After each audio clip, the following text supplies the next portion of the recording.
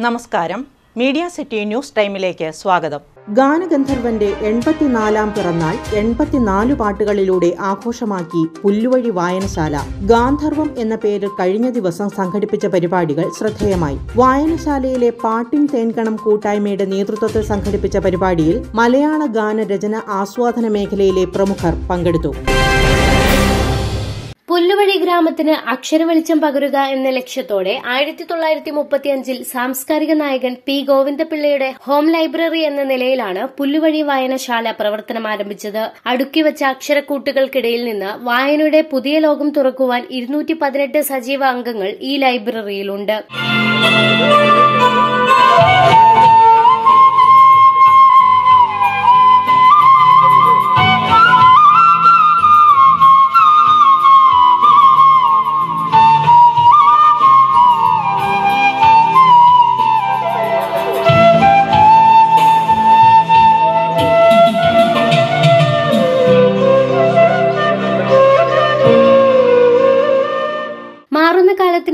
കാലത്തിനനുസൃതമായി ഓരോ വ്യത്യസ്തങ്ങളായ പരിപാടികളും കൂട്ടായ്മകളുമാണ് ഈ വായനശാലയുടെ നേതൃത്വത്തിൽ നടത്തിവരുന്നത്. ഇതിന്റെ ഭാഗമായി രണ്ടായിരത്തി പതിനഞ്ചിൽ ആരംഭിച്ച പാട്ടിൻ തേൻകണം ഇന്ന് നാട്ടിലെങ്ങും ചർച്ചയാണ്. എല്ലാ മാസത്തിലും രണ്ടാം ശനിയാഴ്ചകളിൽ കലാസാഹിത്യ വാസനകൾ വളർത്തുന്ന വിവിധ പരിപാടികളാണ് ചെയർമാൻ ഡോക്ടർ എസ് വിനീതിന്റെ നേതൃത്വത്തിൽ പാട്ടിൻ തേൻകണം എന്ന കൂട്ടായ്മയിലൂടെ സംഘടിപ്പിക്കുന്നത്. ഇതിന്റെ ഭാഗമായി തൊണ്ണൂറ്റിയാറാമത്തെ പരിപാടിയായി മലയാളത്തിന്റെ ഗാനഗന്ധർവൻ ഡോക്ടർ കെ ജെ യേശുദാസിന്റെ എൺപത്തിനാലാം പിറന്നാൾ വ്യത്യസ്തമായ രീതിയിലാണ് പുല്ലുവഴി വായനശാല ആഘോഷമാക്കിയത്.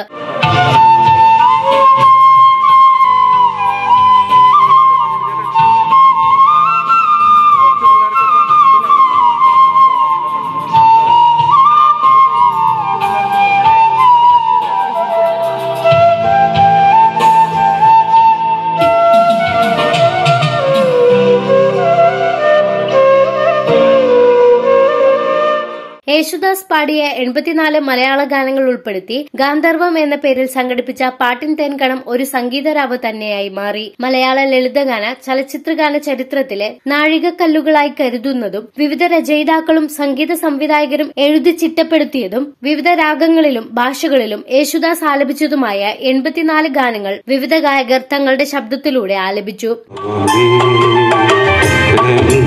രാഗത്തിൻ രോമാഞ്ചമേ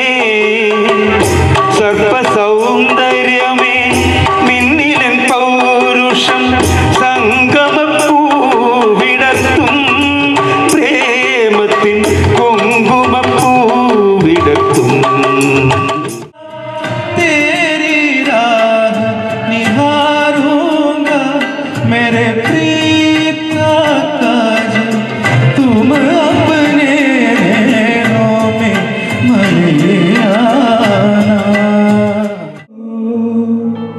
താലിപ്പൂ പീലിപ്പൂ താഴമ്പൂ ചൂടി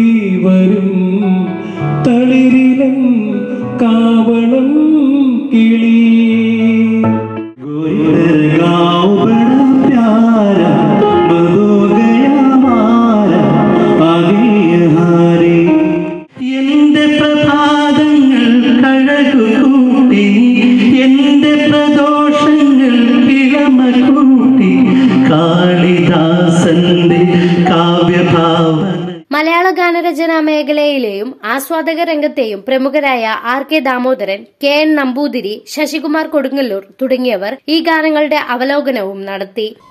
നമസ്കാരം. പുല്ലുവഴി ഗ്രന്ഥശാലയുടെ ആഭിമുഖ്യത്തിൽ പാട്ടിന്റെ തേൻകണം എന്ന് പറയുന്ന ഒരു വലിയ പരിപാടി ദാസേട്ടന്റെ ശതാഭിഷേകത്തോടനുബന്ധിച്ച് ഇന്നിവിടെ കൊണ്ടാടുകയാണ്. പുല്ലുവഴി എന്ന് പറഞ്ഞാൽ തന്നെ ആളുകൾ നടന്നു പോകാത്ത ഒരു വഴി. നടന്ന പാതയിൽ പുല്ലുണ്ടാവില്ല. അപ്പോൾ അങ്ങനെ ഒരു പ്രത്യേക വഴിയിലൂടെ അവനവൻ വെട്ടിത്തെളിച്ച ഒരു വഴിയിലൂടെ സ്വതന്ത്രമായിട്ട് സഞ്ചരിച്ചൊരു വ്യക്തിത്വം ഉണ്ടാക്കുക എന്ന് പറയുന്ന ഒരു ആ നാടിന്റെ ഒരു ഈ നാടിന്റെ ഒരു പേര് തന്നെ ദാസേട്ടനോട് ചേർത്ത് വയ്ക്കാവുന്നതാണ്. കാരണം ദാസേട്ടൻ പാടുന്ന കാലഘട്ടത്തിൽ ദാസേട്ടൻ മലയാള ചലച്ചിത്ര രംഗത്ത് വന്ന കാലഘട്ടത്തിൽ മഹാരഥന്മാരായിട്ടുള്ള പാട്ടുകാരുണ്ടായിരുന്നു. കമറ പുരുഷോത്തമൻ ചേട്ടൻ ഉദയഭാനു ചേട്ടൻ മെഹബൂബ് അങ്ങനെ പല ശൈലിയിൽ പാടുന്ന പല പല ആളുകളുണ്ടായിരുന്നു. കർണാടക സംഗീതത്തിന്റെ വേറൊരു പാരമ്പര്യത്തിന്റെ ഗഹനമായ ആലാപന രീതിയൊക്കെ ഉൾക്കൊണ്ട് വന്നപ്പോൾ അത്രയും പാട്ടുകാർ നിൽക്കുമ്പോൾ വ്യതിരിക്തമായ ഒരു ശൈലിയിൽ വളരെ ഒരു വെൽവെറ്റ് വോയിസോടുകൂടി മലയാള കവിതയെ വയലാർ സാധാരണക്കാരന്റെ കരളിലേക്കും ചുണ്ടിലേക്കും എങ്ങനെയാണോ കോരി ഒഴിച്ചു ഒഴിച്ചതെന്ന് നമ്മുടെ സാധാരണക്കാരനിലേക്ക് അനുഭവവേദ്യമാക്കിയത് എന്ന് പറയുന്നത് പോലെ ആ പുല്ലുവഴി വെട്ടിത്തെളിച്ച പോലെ തന്നെ അദ്ദേഹം ഒരു പ്രത്യേക പാത ഒരു കർണാടക സംഗീതം ചെമ്പയിൽ നിന്ന് ഉൾക്കൊണ്ടിട്ട് വന്ന ഒരു ബാണിയിൽ നിന്ന് വന്നാണെങ്കിൽ പോലും ചെമ്പൈ പാടുന്ന ഒരു ഒരു പാവനഗുരു പാടുന്ന പോലെയല്ല ഹംസാനന്ദി പാടുന്ന പോലെയല്ല ദാസേട്ടൻ പാടുമ്പോൾ പാടുക അതിനൊരു ജനകീയ ഭാഗവതരുടെ ശൈലി കൊടുക്കുകയുണ്ടായി അദ്ദേഹം. അതാണ് യേശുദാസ് എന്ന് പറയുന്ന ഒരു വലിയ ഗന്ധർവ ഗായകനെ മഹാവി ജി ശങ്കർ കുറുപ്പാണ് അദ്ദേഹത്തെ ഗന്ധർവ ഗായകൻ എന്ന് അന്ന് വിശേഷിപ്പിച്ചത്. അത് കഴിഞ്ഞ് ഇത്രയും വന്നപ്പോൾ ഞാൻ ഒരു സ്വരജന്മം എന്ന് അദ്ദേഹത്തെ വിശേഷിപ്പിക്കേണ്ടായി ഒരിക്കൽ. അതെന്റെ കുട്ടിക്കാലത്ത് ചെയ്ത ഒരു വിഡിത്താണെന്ന് വയ്ക്കുക ഇന്ന് ഞാനാണ് അങ്ങനെ വിശേഷിപ്പിക്കാൻ ഉദ്ദേശിക്കുന്നത്. അദ്ദേഹത്തെ ഞാൻ ജനകീയ ഭാഗവതർ എന്നാണ് ഞാനിപ്പോൾ വിശേഷിപ്പിക്കാൻ ഉദ്ദേശിക്കുന്നത് വളർന്നു വരുന്ന കലാകാരന്മാർക്ക് ഒരു വേദിയായി മാറുക എന്ന ലക്ഷ്യത്തോടു കൂടിയാണ് ലൈബ്രറി ഭാരവാഹികളായ P S Manoj K S Satheesh Babu എന്നിവരുടെ നേതൃത്വത്തിൽ പ്രവർത്തനങ്ങൾ മുന്നോട്ട് കൊണ്ടുപോകുന്നത്.